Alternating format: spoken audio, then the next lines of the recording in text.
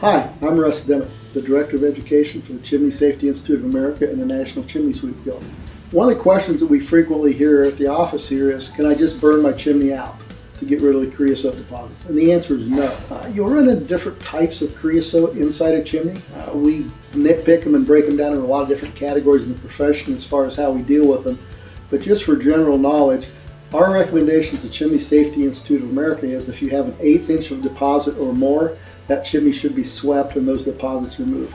Now there is one exception to that, and that is what we call third degree creosote. Third degree creosote is a very highly concentrated uh, flammable material. So if you have any third degree creosote, we do recommend that the chimney be swept at that time and those deposits removed. Now, I, I want to point this out. What creosote actually is, is it's unburned wood, basically. Uh, particulates of wood, the combustible gases from the wood will condense into flue. So what you're doing is taking that combustible material from the firebox and depositing it up in your flue. The chimney is not designed to contain a fire. When we talk about masonry chimneys, one of the things we commonly see as chimney professionals out there are clearance issues. There's supposed to be airspace between the outside of that brick or stonework and the surrounding combustibles. We often find that is not the case.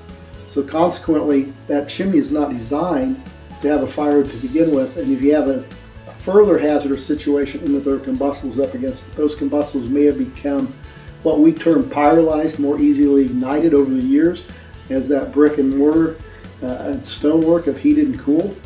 So they may have a lower ignition temperature.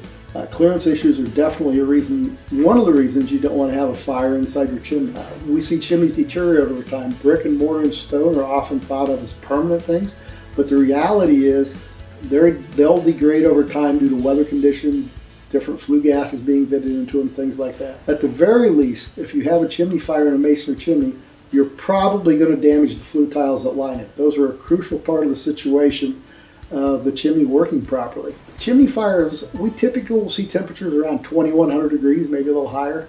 So that while that flue tile is a ceramic material and designed to operate at high temperatures, when it's heated extremely rapidly like that, when it goes from normal operating temperatures to the 2100 degrees, uh, those flue tiles want to expand and grow, and they'll most often break in that situation, which will necessitate a reline, which is not an inexpensive fix. Metal chimneys, a lot of you might have metal chimneys out there, either on your wood stove or your factory-built fireplace. Those will be damaged by a fire in a lot of cases. What happens is because of that rapid temperature rise, the metal in those chimneys want to wants to expand and get bigger. Doesn't always happen well.